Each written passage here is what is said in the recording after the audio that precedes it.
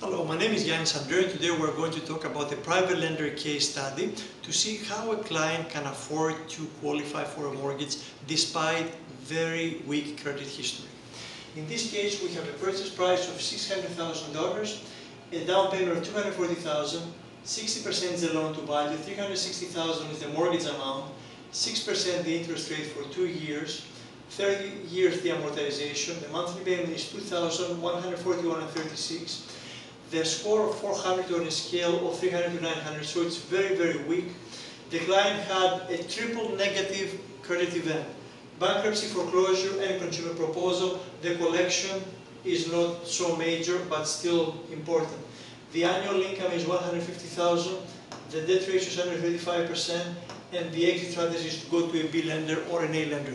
This is an example of a client that has had very difficult credit history. However, now he has bounced back. He and his wife have regular income, steady and predictable income, and we can uh, select a private lender to allow us to rebuild our credit and move forward in two years with a B or an A lender with a re-established credit history.